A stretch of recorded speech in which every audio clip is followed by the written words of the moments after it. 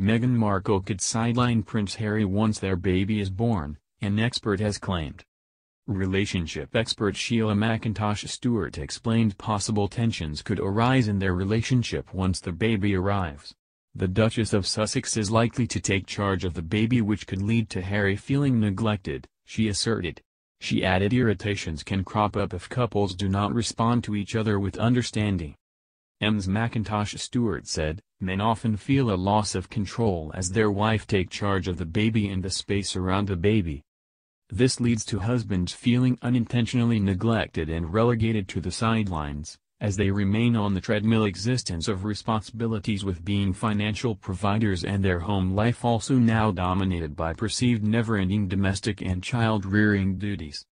Habits that a couple once found cute and quirky in their spouses can soon become irritating and lead to irritations if couples do not respond to each other with tolerance and understanding.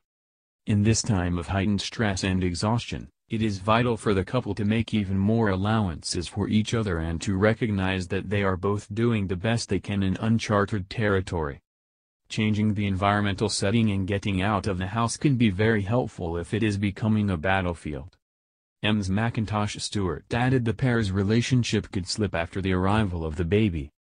She said, it can wear down even the most robust and level-headed individuals.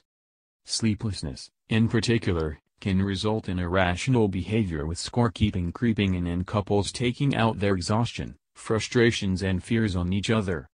It is therefore important that the royal couple do not neglect each other or fall into autopilot as they struggle to adapt to this new chapter in their marriage.